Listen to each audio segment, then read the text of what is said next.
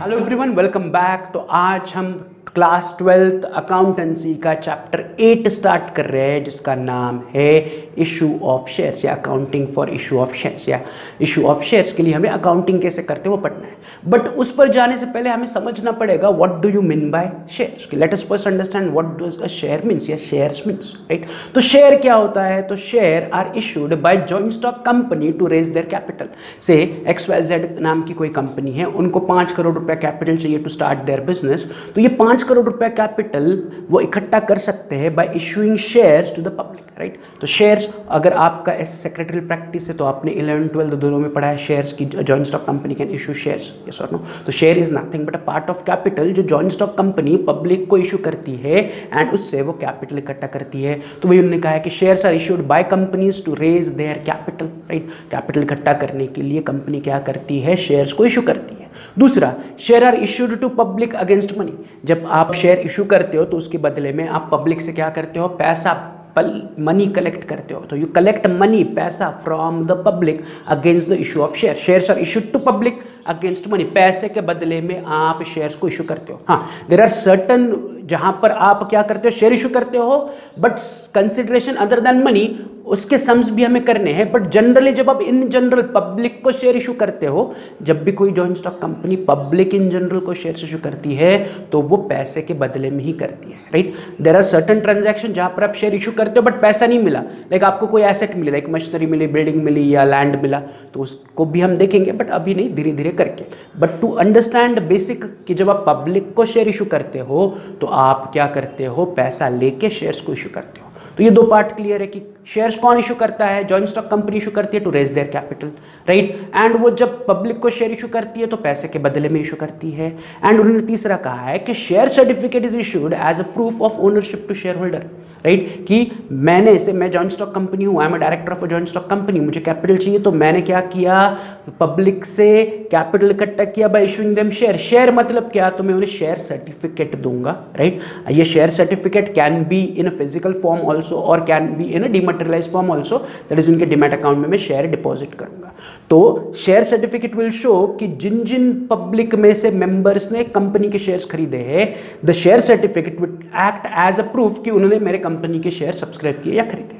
तो what is shares तो share is nothing but part of capital issued by the joint stock company to public to raise their capital तो shares are nothing but issued by the joint stock company to raise their capital तो इसे और detail में समझने के लिए एक छोटा सा एग्जांपल लेते हैं। से उस एग्जांपल में उन्होंने कहा है कि लेट से कंपनी का नाम है बीटा टेलीकॉम लिमिटेड कंपनी का नाम है। एंड ये बीटा टेलीकॉम लिमिटेड को क्या करना है? तीन करोड़ रुपए का कैपिटल चाहिए। Beta telecom limited wants to raise a capital of three crore by issuing shares to public ये तीन करोड़ कैपिटल वो कैसे इकट्ठा करने वाली है? By issuing shares to public वो पब्लिक को शेयर इशू करने वाली है एंड तीन करोड़ का कैपिटल इकट्ठा करने वाली है राइट बट तीन करोड़ रुपए है।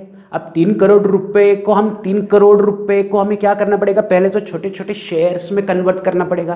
तो वही मैं अगला पार्ट लिख रहा हूँ कि so first we need to divide the three crore capital into shares मैं तीन करोड़ रुपए के शेयर्स दूँगा तो पहले तीन करोड़ रुपए को मुझे क्या करना पड़ेगा? टुकड़ों में बांटना पड़ेगा। शेयर्स हिस्सा करना पड़ेगा। तीन करोड़ रुपए के मुझे हिस्से करने पड़ेंगे। तो उसे हिस्सा करने के लिए मुझे अपने हर एक शेयर का फेस वैल्यू डिसाइड करना पड़ेगा। मुझे क्या करना पड़ेगा? अपने हर एक शेयर का फेस वैल्यू डिसाइड करना पड़ेगा। So I need to decide face value of the share of Beta telecom limited Beta telecom limited है, उन्हें तीन करोड़ रुपए का कैपिटल चाहिए तो इन तीन करोड़ रुपए को वो क्या करेगी? पब्लिक को शेयर इशू करके इकट्ठा करने वाली है। राइट तो पब्लिक को वो शेयर इशू करेगी। तो शेयर की हमें पहले क्या डिसाइड करनी पड़ेगी कि फेस वैल्यू की एक शेयर कितने का? एक शेयर तीन करोड़ का तो नहीं हो सकता ना। तीन करोड़ को मुझे छोटे छोटे छोटे छोटे शेयर्स में डिवाइड करना है तो उस शेयर की मुझे फेस वैल्यू डिसाइड करनी है। तो फेस वैल्यू मीन्स वॉट तो face value is nothing but the basic value which is written on the share certificate अभी हमने ऊपर पढ़ा था कि जॉइंट स्टॉक कंपनी क्या करेगी? शेयर होल्डर्स को as a proof of ownership share certificate issue करेगी। तो शेयर पर कुछ ना कुछ तो वैल्यू लिखी होनी चाहिए ना। जैसे कि अगर आपके जेब में सौ रुपए की नोट है, मान लो अभी आपके जेब में सौ रुपए की नोट है जो तो आप निकाल के देख सकते हो। तो सौ रुपए के नोट पर क्या लिखा है? हंड्रेड लिखा है ना। ये सर नो, दो हज़ार रुपए की नोट है तो उस पर टू थाउज़ेंड लिखा है। तो अगर आप किसी को सौ रुपए की नोट दोगे और बोलोगे दो हज़ार रुपए की है तो वो लेगा क्या? वो बोलेगा, इस पर सौ लिखा है, दो हज़ार कहाँ से? तो वो सौ रुपए के नोट सौ रुपए करके ही एक्सेप्ट करेगा। वैसे ही जब जॉइंट स्टॉक कंपनी अपने शेयर्स पब्लिक को इशू करती है तो उसके प्रूफ में वो क्या करते हैं? शेयर सर्टिफिकेट इशू करते हैं। तो शेयर सर्टिफिकेट पर जो रिटर्न वैल्यू है, वो शेयर सर्टिफिकेट की फेस वैल्यू है। जैसे कि सौ रुपए की नोट की फेस वैल्यू सौ रुपया है। दो हज़ार रुपए के नोट की फेस वैल्यू दो हज़ार रुपया है। ये सॉर नो, पचास रुपए के नोट की फेस वैल्यू पचास रुपया है। दस रुपए के नोट की वैल्यू दस रुपया any one in the public will accept ten rupees note for ten rupees आप हाथ से भी अगर आगे एक ज़ीरो बढ़ाओगे, दस रुपए की नोट पर आप आगे और एक ज़ीरो बढ़ाओगे तो कोई उसे सौ रुपए करके खरीदेगा क्या या लेगा क्या? वो बोलेगा, नहीं, दस रुपए जो ओरिजिनल प्राइस है, दस रुपए ही है उसी प्राइस मिलेगी. तो जो प्रिंटेड प्राइस होती है on share certificate that is called as face value what is face value face value of a share is a nominal value printed on the face of the share certificate face value share certificate के face पर लिखी हुई value है, उसे face value कहते हैं nominal value of share it is also called as nominal value और face value it is a par value fixed by the company अब ये शेयर की वैल्यू कौन डिसाइड करता है? तो वो खुद कंपनी डिसाइड करेगी कि वो अपने एक शेयर की वैल्यू फेस वैल्यू क्या रखना चाहते हैं। राइट जनरली जो इक्विटी शेयर होते हैं, उनकी वैल्यू टेन रुपीज़ से लेकर हंड्रेड रुपीज़ के बीच में आप रख सकते हो या एक दो रुपया भी रख सकते हो। Right choice is yours preference shares hundred two hundred five hundred या थाउज़ेंड में हो सकता है। तो face value is completely a choice of joint stock company कि वो अपने एक शेयर की फेस वैल्यू क्या रखना चाहते हैं? Right now when I am saying shares मैं यहाँ पर शेयर्स दोनों इक्विटी एंड प्रेफरेंस दोनों के बारे में बात कर रहा हूँ। दो टाइप्स के शेयर होते हैं equity share and preference shares उनके डिटेल डिस्कशन में मैं नहीं जाने वाला हूँ। तो आप चाहे शेयर्स इक्विटी इशू करो या प्रेफरेंस इशू करो, दोनों का इशू करने का प्रोसीजर इज़ द सेम जो हम आगे पढ़ने वाले हैं। दोनों का कंसेप्ट इज़ द सेम कि मैं पब्लिक को शेयर इशू करूँगा एंड उनसे कैपिटल इकट्ठा करूँगा। एज अ प्रूफ मैं उन्हें शेयर सर्टिफिकेट दूँगा। तो शेयर सर्टिफिकेट पे जो रिटर्न वैल्यू है value in money terms is called as the face value so like for example एक रिलायंस का शेयर है, अगर आप देखोगे क्लोजली तो उस पर कहा है equity share of rupees ten each if you can see it if you can read equity share each of rupees ten तो एक शेयर दस रुपए का है मतलब दस रुपया इस शेयर की फेस वैल्यू है. Face value of the share is rupees ten so this is an example of face value तो वैसे ही हमें क्या करना पड़ेगा? जो बीटा टेलीकॉम लिमिटेड है, उनके शेयर की फेस वैल्यू डिसाइड करनी पड़ेगी which you can decide anything but for calculation आसानी हो, मैं डिसाइड कर रहा हूँ face value at rupees hundred कि latest take face value of Beta Telecom Limited as rupees hundred तो बीटा टेलीकॉम लिमिटेड का एक शेयर सौ रुपए का बनेगा. तो हमें क्या करना पड़ेगा? हमें अपने तीन करोड़ कैपिटल को सौ रुपए के शेयर्स में डिवाइड करना पड़ेगा। We need to divide three crore that is the capital of three crore by face value of rupees hundred की हमने फेस वैल्यू सौ रुपए रखा। राइट कि मैं बेटा टेलीकॉम लिमिटेड हूँ, मुझे तीन करोड़ रुपए कैपिटल चाहिए तो मैं पब्लिक को शेयर इशू करूँगा। बट मैं पब्लिक को शेयर जो इशू करूँगा, उस शेयर की कीमत क्या है? तो एक शेयर की कीमत है सौ रुपया। तो मुझे तीन करोड़ कैपिटल को सौ सौ रुपए के शेयर्स में डिवाइड करना पड़ेगा। तो मेरा कैपिटल है तीन करोड़ ये सॉर नो तो तीन करोड़ को मैं क्या कर रहा हूँ? फेस वैल्यू रुपीज़ हंड्रेड से डिवाइड कर रहा हूँ। तो तीन करोड़ से अगर आप हंड्रेड से डिवाइड करोगे तो दो दो कॉमन ज़ीरो चले गए तो बचता है थ्री लैक्स मतलब अगर मुझे तीन करोड़ रुपया चाहिए एज ए कैपिटल तो मैं क्या करूँगा? तीन लाख शेयर्स पब्लिक को दूँगा एंड एक शेयर को मैं कहूँगा सौ रुपया। तो मैं लिख रहा हूँ कि I issue three lakh shares of rupees hundred each कि मुझे आंसर क्या मिला कि तीन करोड़ कैपिटल चाहिए? बट कैसे? By issuing three lakh shares and per share share में क्या करूँगा? सौ रुपया कलेक्ट करूँगा। से मैंने एज बीटा टेलीकॉम लिमिटेड आपको दस शेयर दिए। तो दस शेयर एक शेयर कितने का है? सौ रुपये का। तो दस इंटू सौ रुपये pay me thousand rupees just for an example आप मुझे थाउज़ेंड रुपीज़ पे करोगे. इस वक्त नो मुझे थाउज़ेंड मिलेगा, किसी को मैं पाँच सौ शेयर दूँगा, किसी को हज़ार शेयर दूँगा, किसी को दस हज़ार शेयर दूँगा। तो ऐसे मैं पब्लिक को क्या करूँगा? टोटल तीन लाख शेयर्स दूँगा एंड उन शेयर्स के बदले में मैं उनसे क्या करूँगा? सौ सौ रुपया पर शेयर कलेक्ट करूँगा। तो वो ये to raise three crore capital Beta Telecom Limited will issue three lakh share of a face value of rupees hundred to public सौ रुपये फेस वैल्यू के मैं क्या करूँगा? तीन लाख शेयर्स पब्लिक के हाथ में रखूँगा एंड उसके बदले में उनसे पैसा लूँगा मनी लूँगा यस और नो तो मेरे पास पैसा आएगा एंड मेरे पास से शेयर जाएगा किसके हाथ में? पब्लिक के हाथ में। बट जब मैं पब्लिक को शेयर इशू करता हूँ तो मैं सौ रुपए में तो इशू कर सकता हूँ बट मैं साथ ही साथ सौ रुपए से ज़्यादा कीमत में भी इशू कर सकता हूँ या सौ रुपए से कम कीमत में भी इशू कर सकता हूँ। वही अगला पार्ट है कि company can issue the shares to public at par at premium और एट डिस्काउंट मतलब क्या कि मैंने अपने एक शेयर की फेस वैल्यू रखी सौ रुपया? तो मैं क्या कर सकता हूँ? सौ रुपए का शेयर पब्लिक को सौ रुपए में ही दे सकता हूँ। मतलब पब्लिक में से जिन्हें जिन्हें शेयर चाहिए, मैं बोलूँगा, ये सौ रुपए का शेयर है, सौ रुपए का शेयर लो एंड सौ रुपए ही मुझे दे दो। That is issue at par मतलब मैं अपने शेयर को फेस वैल्यू पे ही इशू करूँगा। जितनी उसकी फेस वैल्यू है, उतने प्राइस पर मैं उसे इशू करूँगा। सौ रुपया फेस वैल्यू रखी है तो मैं सौ रुपए का एक शेयर दूँगा और एक शेयर के बदले में सौ रुपया लूँगा। किसी को दो शेयर दिए तो उससे मैं दो सौ रुपये लूँगा। Per share I take them hundred rupees और आई आस्क देम टू पे मी हंड्रेड रुपीज़ तो I issue at par issue at par मतलब to issue the share at face value only not extra money और not कम money मतलब ज़्यादा पैसे में भी इशू नहीं करूँगा, कम पैसे में भी नहीं इशू करूँगा। ये पहला ऑप्शन है मेरे पास। I can issue my shares at par but मैं क्या कर सकता हूँ? मैं अपने शेयर एट प्रीमियम में भी इशू कर सकता हूँ। मतलब मैं अपने शेयर्स पब्लिक को दूँगा। सौ रुपये का शेयर दूँगा और उनको बोलूँगा एक सौ बीस रुपया दो। शेयर हाथ में रखूँगा सौ रुपये का ही बट मैं उनसे कहूँगा एक सौ बीस रुपये निकालो। पैसे मुझे एक सौ बीस रुपये चाहिए शेयर आपको सौ का ही मिलेगा। I am charging them premium मैं उनसे एक्स्ट्रा पैसा वसूल कर रहा हूँ।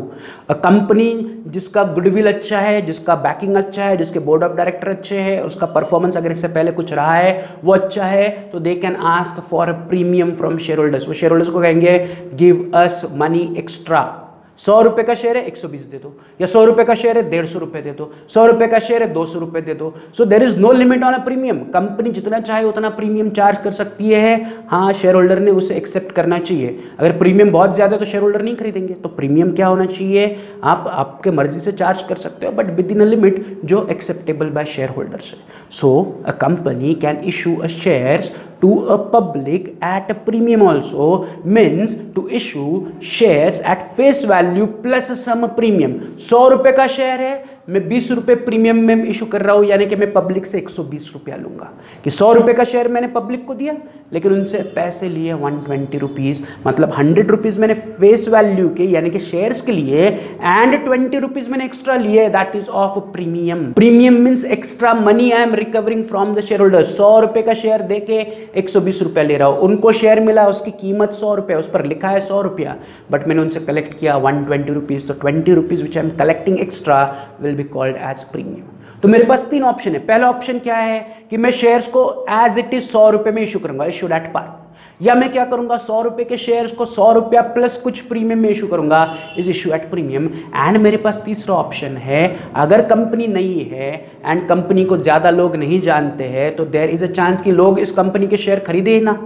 तो कंपनी शेयर होल्डर्स को अट्रैक्ट करने के लिए अपने शेयर्स कम प्राइस में दैट इज़ डिस्काउंट में इशू कर सकते हैं कि मैं उनको सौ रुपये का शेयर दूँगा बट उनसे मैं नाइन्टी रुपीज़ या नाइन्टी फाइव रुपीज़ ही कलेक्ट करूँगा। So I can issue my shares to share holders at discount also तो डिस्काउंट का मतलब है कि मैं फेस वैल्यू में से कुछ डिस्काउंट काटूँगा एंड मैं अपने शेयर इशू करूँगा। मतलब मैं पब्लिक के हाथ में रखूँगा सौ रुपये का शेयर राइट एंड उनसे कहूँगा पे मी नाइन्टी फाइव ओनली मतलब उनको मिला सौ रुपये का share the value of share is hundred but they are paying में नाइन्टी फाइव रुपीज़ मतलब वो पे कर रहे हैं कम. Right right? क्यों? क्योंकि मैं उन्हें पाँच रुपये का डिस्काउंट ऑफ़र कर रहा हूँ। तो सौ रुपये के शेयर के बदले में मुझे नाइन्टी फाइव रुपीज़ मिल रहा है। तो I am issuing the shares at a discount right तो this is how we can issue shares in three ways कि आई कैन इशू सौ रुपए का शेयर सौ रुपए में issue at par or I can issue 100 रुपए का share at some extra price that is issue at premium. Or I can issue my share, that is company का शेयर बीटा टेलीकॉम लिमिटेड का share discount also. The choice is with the company कि company को तीन crore capital चाहिए company को तीन crore capital चाहिए तो वो लोगों को पब्लिक को क्या करेंगे? तीन लाख शेयर इशू करेंगे. एंड हर एक शेयर की फेस वैल्यू कितनी होगी? सौ रुपया. तो पब्लिक को मैं टोटल तीन लाख शेयर दूँगा. हर एक शेयर सौ रुपए का है. बट जब मैं पैसा कलेक्ट करूँगा तो मैं सौ रुपए के बदले में अगर सौ रुपए ही कलेक्ट करूँगा, उसे कहा जाएगा इशू एट पार बट अगर मैं सौ रुपए का शेयर दे के उनसे एक सौ बीस रुपए वसूल कर रहा हूँ तो उसे कहा जाएगा इशू एट प्रीमियम बट मैं अगर सौ रुपए का शेयर दे के उनसे नाइन्टी फाइव रुपीज़ या नाइन्टी रुपीज़ कलेक्ट कर रहा हूँ तो उसे कहा जाएगा इशू एट डिस्काउंट तो यहाँ पर प्रीमियम कितना चार्ज करना है, इस पर कोई लिमिट नहीं है। बट डिस्काउंट कितना चार्ज करना है, उसकी सर्टन लिमिट्स है, उसी के अंदर that is a company can maximum charge ten percent discount right तो उससे ज़्यादा डिस्काउंट नहीं होना चाहिए। तो उतना ही डिस्काउंट में आप शेयर्स को इशू कर सकते हो, ज़्यादा डिस्काउंट आप दे नहीं सकते हो। तो company can issue shares at par at premium और एट डिस्काउंट ये क्लियर है। तो ये तो क्लियर है कि हमें शेयर्स इशू करने हैं, यानी कि बीटा टेलीकॉम लिमिटेड को कंपनी को शेयर इशू करने हैं। तो इन तीनों में से वो किसी भी प्रकार से शेयर इशू कर सकती है। बट द क्वेश्चन इज़ कि कैसे इशू किया जाए? मुझे तो शेयर इशू करने हैं। पब्लिक को कैसे पता चलेगा कि मेरे शेयर्स अवेलेबल है? तो there is certain procedure company needs to follow to issue the shares right कि कंपनी को तीन लाख शेयर्स बिटा लिमिटेड को तीन लाख शेयर्स पब्लिक तक पहुंचाना है राइट right? चाहे प्रीमियम पे या डिस्काउंट पे या एट पार वो कंपनी की चॉइस है। बट ये शेयर्स पब्लिक तक कैसे पहुँचाया जाए? या पब्लिक को कैसा पता चलेगा कि शेयर्स अवेलेबल है? So there is certain procedure company needs to follow to issue the shares तो ये क्लियर है? अभी तक तो ये क्लियर है कि हमें शेयर इशू करने हैं? राइट तो शेयर की फेस वैल्यू हमने डिस्कस की ये और नो एंड शेयर्स को अगर आपको इशू करने तो आप पार प्रीमियम या डिस्काउंट में इशू कर सकते हैं। द नेक्स्ट क्वेश्चन इज़ कि how to issue the share what is the procedure तो अगला पार्ट हम वही पढ़ने वाले हैं procedure for issue of share तो there are certain steps involve in issue of share कि पहला स्टेप या पहला पार्ट या पहला प्रोसीजर जो जॉइंट स्टॉक कंपनी फॉलो करेगी, वो ये है कि वो क्या करेगी? कंपनी की तरफ़ से प्रॉस्पेक्टस इशू करेगी, जिसमें कंपनी की इंफॉर्मेशन दी जाएगी कि कंपनी क्यों फॉर्म हुई, कब फॉर्म हुई कंपनी का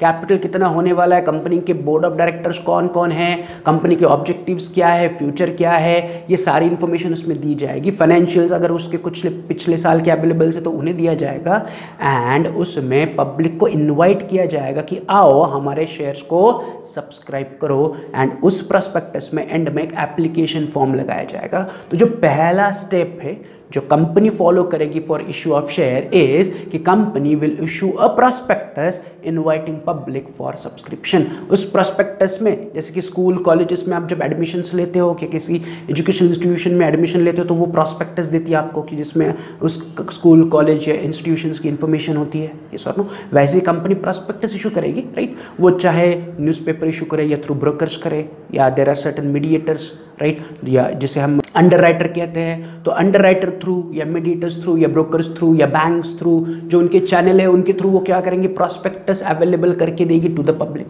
फिर पब्लिक क्या करेगी? इन प्रॉस्पेक्टस को पढ़ेगी राइट अगर उनको लगता है कि अरे कंपनी का प्रॉस्पेक्टस अच्छा है ये सर ना कंपनी का फ्यूचर अच्छा है प्रॉफिट मेकिंग वेंचर है इनका तो इनके शेयर खरीदने चाहिए। तो पब्लिक में से जिन्हें जिन्हें शेयर्स खरीदने हैं, वो क्या करेंगे? प्रॉस्पेक्टस में लगाया हुआ एप्लीकेशन फॉर्म फिल करेंगे राइट एंड उस एप्लीकेशन फॉर्म को विद एप्लीकेशन मनी कंपनी को भेजेंगे। No what is application money किसी फॉर एग्जांपल मैं एक्स वाई जेड लिमिटेड हूँ या वही हमारा एग्जांपल बीटा टेलीकॉम लिमिटेड हूँ। मुझे पब्लिक को शेयर इशू करने हैं तो मैंने क्या किया? मस्त अच्छा सा प्रोस्पेक्टस बनाया एंड पब्लिक तक पहुँचाया थ्रू द मीडियम्स जो जो चैनल्स है प्रोस्पेक्टस इशू करने के। Right right? अब पब्लिक के हाथ में प्रोस्पेक्टस आया। अब वो उन्होंने प्रोस्पेक्टस देख लिया। कोई ऐसे बैठे बैठे बोले, चलो, हज़ार शेयर के लिए अप्लाई कर दो। But what is the intention behind इन कि अगर उसने अप्लाई किया हज़ार शेयर के लिए तो वो बाद में पैसा देगा ही क्या?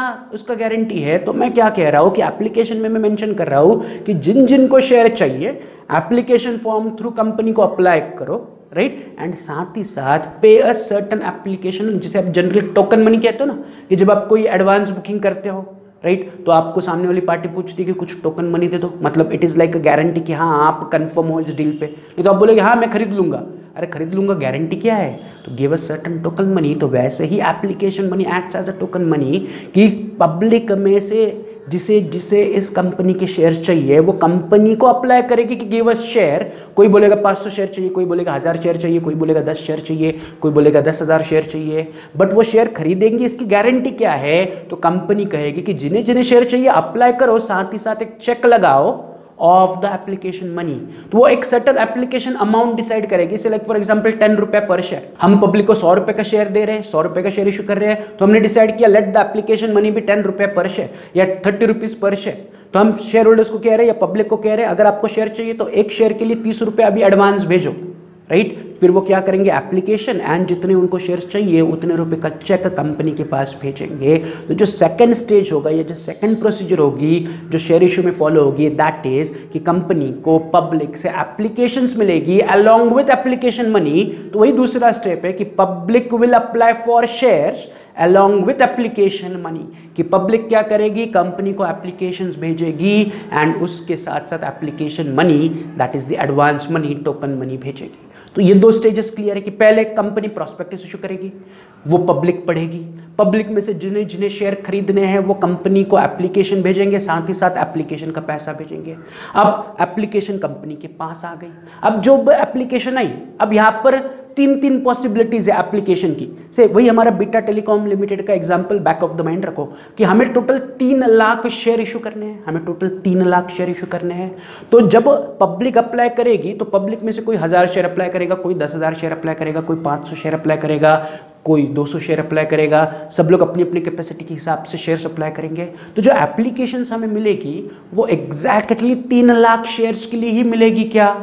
आंसर इज़ नो वो तीन लाख शेयर से ज़्यादा के लिए भी मिल सकती है, या उससे कम के लिए भी मिल सकती है, या एग्जैक्टली exactly उतने के लिए ही मिल सकती है। अगर मुझे एप्लीकेशन ज़्यादा मिली मतलब मुझे इशू करने तीन लाख, मुझे एप्लीकेशन मिली चार लाख शेयर्स की तो उसे कहा जाएगा? ओवर सब्सक्रिप्शन राइट अगर मुझे इशू करने तीन लाख, मुझे एप्लीकेशन मिली केवल से दो लाख सत्तर हज़ार एप्लीकेशन या मुझे दो लाख नब्बे हज़ार एप्लीकेशन मिली तो उसे कहा जाएगा? अंडर सब्सक्रिप्शन क्या कहा जाएगा? अंडर सब्सक्रिप्शन कि मुझे देने हैं तीन लाख शेयर मुझे एप्लीकेशन उससे कम आई अंडर सब्सक्रिप्शन मुझे देने हैं तीन लाख शेयर पब्लिक ने अप्लाई किया ज़्यादा शेयर्स के लिए, उसे कहा जाएगा? ओवर सब्सक्रिप्शन हो सकता है कि नहीं हो सकता है कि किसी कॉलेज में सौ स्टूडेंट्स के लिए सीट अवेलेबल है तो एग्जैक्टली 100 एप्लीकेशन ही आएँगी क्या?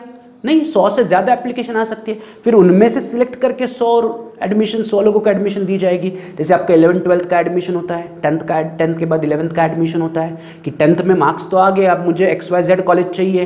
तो उस एक्स वाई जेड कॉलेज आपको चाहिए तो मिलेगा क्या? नहीं, आपके मार्क्स के हिसाब से आपको मिलेगा। क्योंकि उस कॉलेज में एडमिशन लेने वाले बहुत सारे लोग हैं। सीट्स लिमिटेड है एप्लीकेशन ज़्यादा है। यस और नो तो same can happen with joint stock company की मुझे देने हैं तीन लाख शेयर उसके बदले में मुझे एप्लीकेशन आ रही है तो वो एग्जैक्टली exactly तीन लाख की आ सकती है क्या? ज़्यादा भी आ सकती है, कम भी आ सकती है। ज़्यादा आई तो कहा जाएगा ओवर सब्सक्रिप्शन कम आई तो कहा जाएगा अंडर सब्सक्रिप्शन अब ओवर सब्सक्रिप्शन अंडर सब्सक्रिप्शन को हम इन डिटेल डिस्कस करते हैं इन सम सॉल्विंग राइट अभी बस कंसेप्ट समझो कि यस मुझे एप्लीकेशन मिली, अगर वो ज़्यादा आई तो it will be termed as over subscription अगर कम आई तो it will be termed as under subscription तो ओवर सब्सक्रिप्शन अगर हुआ तो मैं क्या करूँगा? जो ज़्यादा एप्लीकेशन है उनको रिजेक्ट करूँगा और तीन लाख शेयर में इशू कर दूँगा. अंडर सब्सक्रिप्शन हुआ तो मैं क्या करूँगा? सबको शेयर इशू कर दूँगा क्योंकि यहाँ पर रिजेक्शन का सवाल नहीं है. बट ऐसा भी हो सकता है कि एक्जैक्टली तीन लाख एप्लीकेशन भी आ सकती है. ये सर हो सकता है. तीन तीन पॉसिबिलिटीज है कि पब्लिक एक्जैक्टली तीन लाख शेयर के लिए अप्लाई कर रही है. ये सॉरी एग्जैक्टली तीन लाख की एप्लीकेशन आए, या तीन लाख से ज़्यादा है या फिर तीन लाख से कम आए। तो एप्लीकेशन कुछ भी हो, मेरा अगला स्टेज क्या होगा? Once the application is receive by the company company क्या करेगी? इन एप्लीकेशन को स्क्रूटिनाइज करेगी एंड इनके बदले में उन्हें शेयर्स अलॉट कर देगी। अभी हम एप्लीकेशन उन्हें अप्लाई किया था कि give a share right second stage क्या था?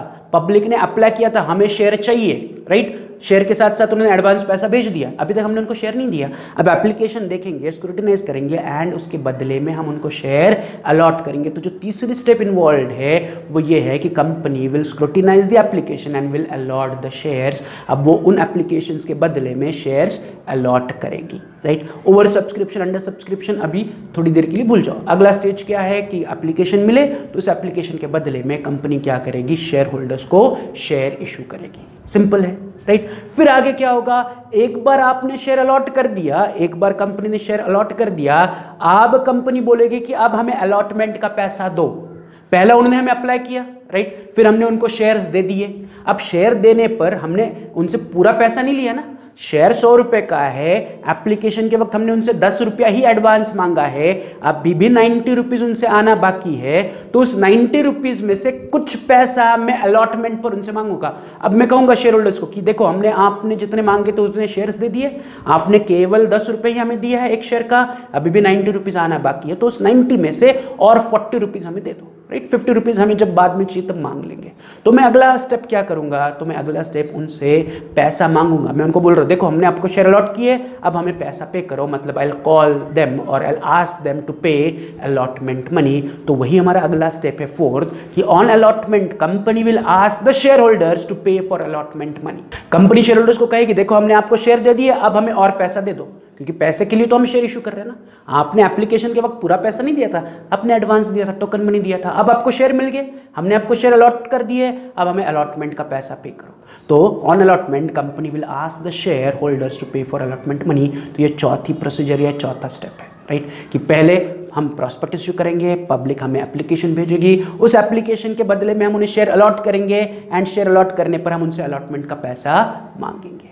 फिर क्या होगा? फिर जो बचा हुआ पैसा है, अभी तक हमने टोटल सौ रुपये नहीं मांगे। एडवांस दस रुपये मांगा था अलॉटमेंट का हमने चालीस रुपये मांगा था तो हमें सौ रुपये में से पचास रुपये मिले। अभी भी पचास रुपये बाकी है तो इस पचास रुपये को हम धीरे धीरे करके, जब कंपनी को एडिशनल कैपिटल की ज़रूरत होगी, वो अपने शेयर होल्डर से कॉल करके मांगेगी। मे बी वो पचास रुपये आप एक कॉल में मांग सकते हो, या आप दो, तीन, चार आपको जितने कॉल में मांगना है उतना मांग सकते हो। तो there can be multiple calls तो वही अगला स्टेप है procedure of issue of share that the company will make call, oblique calls. एक कॉल करके बचा हुआ पैसा मांग सकते हैं या मल्टीपल कॉल थ्रू की एक कॉल तीस रुपए का किया, एक कॉल बीस रुपए का किया, पचास रुपए वसूल किए, या एक कॉल पचास रुपए का किया और पचास रुपए वसूल किए। So company will make call oblique calls for the balance amount on share तो जो बचा हुआ पैसा है, वो company call through मांगेगी। So these are the five steps involve और the five procedures involve for issue of share कि सबसे पहले हम क्या करेंगे? प्रॉस्पेक्ट इशू करेंगे, फिर पब्लिक हमें अप्लाई करेगी, उसके बदले में हम उनको शेयर अलॉट करेंगे, उनसे शेयर अलॉटमेंट का पैसा मांगेंगे, फिर उनसे कॉल मनी मांगेंगे एंड वो कॉल मनी रिसीव करेंगे। So these are the five steps involve in issue of share right तो ये प्रोसीजर इशू ऑफ़ शेयर की। अब हमें प्रोसीजर नहीं पढ़ना है, हमें पढ़ना है कि how to do accounting of issue of shares तो ये नहीं प्रोसीजर में हमारा अकाउंटिंग का पार्ट छुपा है कि हमें अकाउंटिंग में किस किस पार्ट पर कॉन्सेंट्रेट करना है।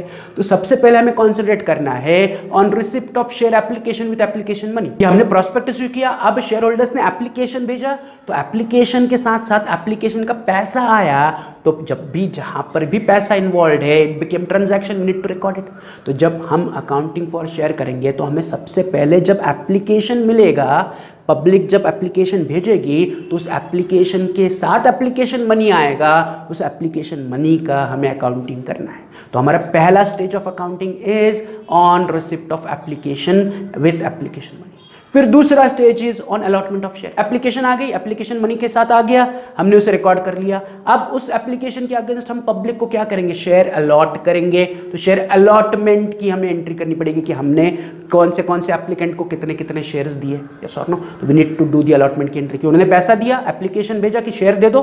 अगले एंट्री में हमने उनको शेयर्स दे दिया। ये दो क्लियर है कि उन्होंने हमें एप्लीकेशन दिया। एंड बोला, शेयर चाहिए। तो पैसा आया तो हमने एप्लीकेशन की एंट्री की।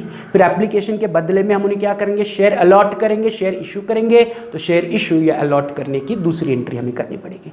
फिर हम क्या करेंगे? एक बार शेयर अलॉट हो गए, हम तीसरे स्टेज पर उनसे अलॉटमेंट का पैसा मांगेंगे। That is allotment money due हम बोलेंगे, चलो, अभी अलॉटमेंट का पैसा निकालो। शेयर मिल गया। गिव अस अलॉटमेंट मनी तो तीसरा एंट्री हमें करना पड़ेगा for allotment money due allotment पैसा मांगने की एंट्री करनी पड़ेगी। जब आप अलॉटमेंट पैसा मांगोगे तो कुछ दिनों बाद या महीनों बाद वो अलॉटमेंट का पैसा आपको मिल जाएगा। तो फिर से अलॉटमेंट का पैसा मिलने की आपको चौथी एंट्री करनी पड़ेगी। That is allotment money receive तो पहली एंट्री हमेशा यही होगी कि एप्लीकेशन मिला, क्योंकि शेयर इश्यू की प्रोसीजर अकाउंटिंग शुरुआत ही होगा शेयर एप्लीकेशन मिलने से। फिर उस एप्लीकेशन के बदले में हम उनको शेयर अलॉट करेंगे। शेयर अलॉट करने के बाद हम उनसे अलॉटमेंट का पैसा मांगेंगे। अलॉटमेंट का पैसा मांगने पर अलॉटमेंट का पैसा मिलेगा ना, कि मांगना बस हो गया। वो एक साइड हुआ कि पैसा मांगा। अब पैसा मांगने पर पैसा आएगा भी तो। तो पैसा आने पर आपको अलॉटमेंट मनी रिसीव्ड का एंट्री करना है। तो ये चार एंट्रीज होगी। एप्लीकेशन आई अलॉटमेंट कर लिया, फिर अलॉटमेंट का पैसा मांगा, फिर अलॉटमेंट का पैसा मिला, फिर उसके बाद हम क्या करेंगे, आगे कॉल मनी मांगेंगे दैट इज़ कॉल या कॉल्स मनी ड्यू तो एक कॉल में पैसा मांग रहे तो कॉल मनी की एंट्री एक ही होगी मल्टीपल कॉल कर रहे तो मल्टीपल कॉल मनी की एंट्री होगी. तो कॉल मनी पैसा मांगने पर या कॉल मनी का पैसा मांगने पर कॉल मनी का पैसा मिलेगा भी यस और नो तो कॉल मनी ड्यू की तो एंट्री होगी, उसके साथ साथ कॉल मनी रिसीव भी तो होगा. तो हमें सिक्स एंट्री करनी पड़ेगी रिसिप्ट ऑफ़ कॉल या कॉल मनी गेटिंग इट तो यहाँ पर देखो, छह entry these are the base कोई भी सम हम सॉल्व करेंगे इश्यू ऑफ़ शेयर का, ये छह चीज़ें याद रखो कि पहले एप्लीकेशन आएगी, उसका एंट्री पास करो, फिर एप्लीकेशन के बदले में हम शेयर इशू करेंगे, उसका एंट्री पास करोगे, फिर अलॉटमेंट का पैसा मांगेंगे, उसका एंट्री पास करो, फिर अलॉटमेंट का पैसा रिसीव होगा, उसका एंट्री पास करो, फिर कॉल का पैसा मांगेंगे एंड कॉल मनी का पैसा मिलेगा. तो this are the six entries in each and every question we need to pass हाँ सिर्फ़ यहाँ पर क्या हो सकता है? कि कॉल एक के जगह दो हो सकते हैं या तीन हो सकते हैं तो उतनी एंट्रीज बढ़ेगी। गेटिंग इट कि अगर पैसे हमने दो कॉल में मांगे तो मुझे फ़र्स्ट कॉल मनी मांगने का एंट्री एंड फ़र्स्ट कॉल का पैसा मिलने की एंट्री फिर सेकंड कॉल का पैसा मांगने की एंट्री एंड सेकंड कॉल का पैसा मिलने की एंट्री करनी पड़ेगी। तो ऐसे I have to divide my question in application allotment and call right and her stage पर दो दो एंट्रीज एप्लीकेशन के स्टेज पे दो एंट्री एप्लीकेशन आई शेयर दिए। फिर अलॉटमेंट के पैसे मांगे अलॉटमेंट के पैसे मिले। फिर कॉल के पैसे मांगे कॉल के पैसे मिले। सो so, ऐसे मैं क्या कर सकता हूँ? अपने क्वेश्चन को अलग अलग हिस्सों में डिवाइड कर सकता हूँ। तो इसे समझने के लिए हम एक छोटा सा क्वेश्चन देख रहे हैं फ्रॉम योर टेक्स्ट बुक जो कि है आपका solved example one that is illustration one जिसमें उन्होंने कहा है कि Gajanan limited issued sixty thousand equity share of ten each कि गजानन लिमिटेड साठ हज़ार इक्विटी शेयर देना चाहती है दस रुपए का मतलब एक शेयर की फेस वैल्यू ने रखी है दस रुपया, जो कि पेएबल है टू रुपीज़ ऑन एप्लीकेशन मतलब ये दस रुपया इकट्ठा नहीं ले रहे हो। दो रुपये उनको बोल रहे आपको शेयर चाहिए, दो रुपये एप्लीकेशन पे भेजो। फिर थ्री रुपीज़ ऑन अलॉटमेंट फिर अलॉटमेंट शेयर देने के बाद तीन रुपये निकालो। फिर three rupees on first call first call पर तीन रुपया and two rupees on final call मतलब हम दस रुपये का शेयर इशू कर रहे हैं, और उसका पैसा हम चार हिस्सों में मांग रहे हैं कि उनको बोल रहे एप्लीकेशन के वक्त दो रुपया दे दो अलॉटमेंट के वक्त तीन रुपया दे दो फ़र्स्ट कॉल के वक्त तीन रुपया एंड फाइनल कॉल के वक्त दो रुपया। तो ऐसे हम पैसे उनको चार हिस्सों में मांग रहे हैं। तो यहाँ पर चार का डबल करो, आठ जर्नल एंट्रीज आपको देनी पड़ेगी। हिसाब में आपको क्लियर कर रहा हूँ कि एप्लीकेशन है अलॉटमेंट है फ़र्स्ट कॉल है एंड फाइनल कॉल है। तो चार हिस्सों में हम पैसा कलेक्ट कर रहे हैं तो हर हिस्से के वक्त दो दो जर्नल एंट्री होगी। पहला एप्लीकेशन आएगा फिर हम एप्लीकेशन के बदले में शेयर देंगे। फिर अलॉटमेंट का पैसा मांगेंगे, फिर अलॉटमेंट का पैसा मिलेगा। फिर फ़र्स्ट कॉल का पैसा मांगेंगे फ़र्स्ट कॉल का पैसा मिलेगा। फिर फाइनल कॉल का पैसा मांगेंगे एंड फाइनल कॉल का पैसा मिलेगा। तो इस क्वेश्चन को सॉल्व करने के लिए मुझे आठ जर्नल एंट्रीज देनी है। क्यों जर्नल एंट्रीज क्योंकि कहा है, pass necessary journal entries in the books of Gajanan limited कि शेयर इशू करने के लिए गजानन लिमिटेड के बुक्स में जर्नल एंट्री पास करो, जो कि हम सॉल्व करेंगे in tomorrow's lecture right just मैंने आपको क्वेश्चन पढ़ के हाईलाइट करके दिया कि एक्जैक्टली क्वेश्चन किस प्रकार होगा। Again this is basic question but इसी में धीरे धीरे हम एडिशन प्रीमियम डिस्काउंट राइट फिर और सब्सक्रिप्शन सब्सक्रिप्शन लेके आएँगे एंड उसके परमिटेशन कॉम्बिनेशन में सम सॉल्व करेंगे। बट द कंसेप्ट यही रहेगा कि first call final call application allotment right चलो तो सी यू टुमारो तब तक have a good day see you bye